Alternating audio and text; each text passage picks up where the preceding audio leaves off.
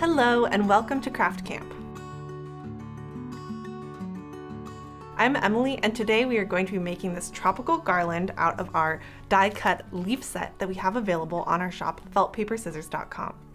We already taught you how to make a wreath out of this kit, but I wanted to go over making this really cute watercolor garland. I think this would be a great piece for party decor or even just putting up in your home. All right, let's get started. For our tools and materials, we are going to be using this tropical leaf set. Now this comes already die cut and you can just pop all the leaves out as you work. We also have some embroidery floss, scissors, some embroidery needles, and I also am going to be using this watercolor set to add a little bit of extra color to the leaves. You could also use colored pencils or markers or anything you have on hand. Along with that, I'm going to be adding in these little wooden beads between each leaf just for a little extra fun, and I have the 12 millimeter wooden beads. I also have our brand new paper curler here, and I'm going to use this just to add a little bit of curve and dimension to our leaves once they're on the thread. All right, let's get started.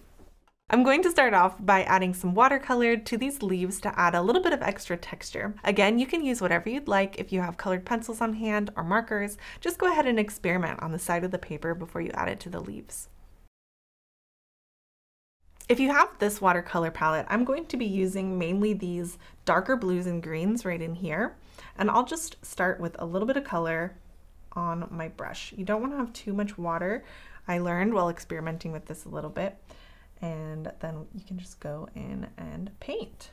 And the thing about this that I think is a little extra fun is that you can kind of go wherever you want with this watercolor and let it pool and smudge around. You want whatever kind of natural texture you can get. So don't be afraid, just kind of experiment and play. I think this side looks pretty good. Let's try one over here. Maybe I'll go in with a bit of blue this time. And I like it when it does this beading on top because it adds that really interesting look. And once I have a little bit of color on, I can go in, maybe I'll do this limey green and I can just kind of blob some on, get a little more water on there. Let them run together. Nice and fun. I love watercolor. And since these are already die cut, you can just kind of scribble across the page and have fun with it.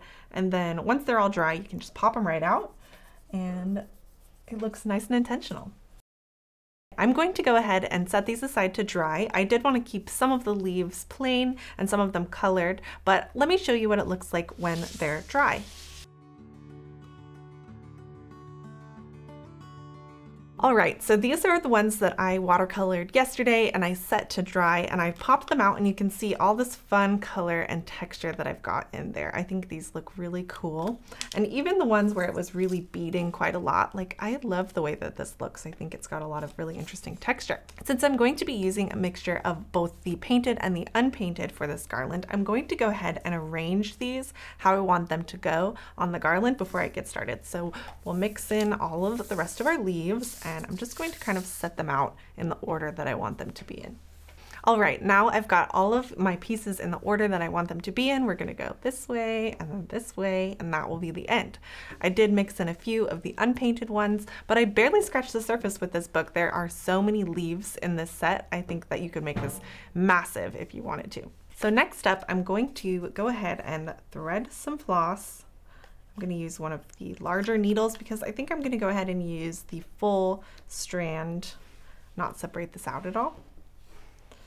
Now we can just kind of measure how long this is going to be.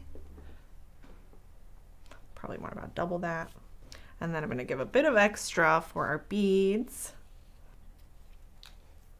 I've got my floss threaded on my needle and I folded it over quite a lot so that I'm not working with too much extra thread at the beginning. And I'm going to just start with a wooden bead. So we'll get this threaded on here. I'm gonna move it all the way down to the end. Then I'm going to just loop it back through one more time in the same direction just to give it this nice little secure holding spot here. And you can see this just kind of loops the thread around the bead like this and you can still move it, but it's pretty secure. And I've left a little bit of tail so that you can hang it and then we'll start threading our leaves. We'll start with the first one. And I'm not going to bend these or curl them at all yet. I just want to get them on the thread and then we'll go back and add that shape once we're done. So I'm going in and back out. Keep these leaves nice and straight. And then this is where you can decide how much spacing you want between each leaf and each bead. I think keeping consistency would be nice, but you can use whatever style you'd like.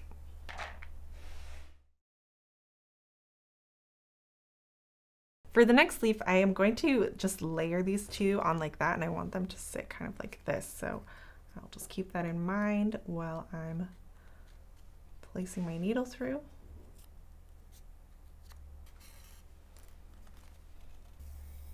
I love the watercolor look on these. Here's a plain one, we'll just add it in. And you can see I'm pulling the needle through on this area where there's a bit more bulk. I don't want to use this stem because it would probably tear if I tried to hang it from that. So we're going through where there's a bit more meat to it.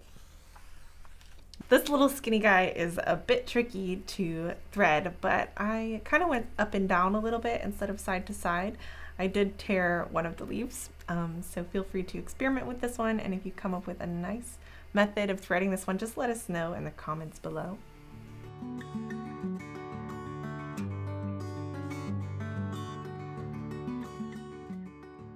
And there we go. I went ahead and took the needle off and we've got this full, beautiful tropical garland with those added little touches. Now I'm just going to go in and curl any leaves that I want to give a little bit of extra dimension.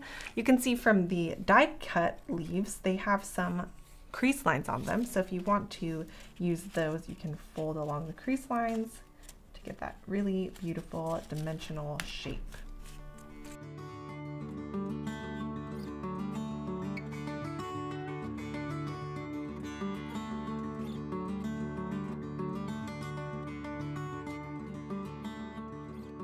And with that, we have this beautiful tropical garland ready to decorate any room or party.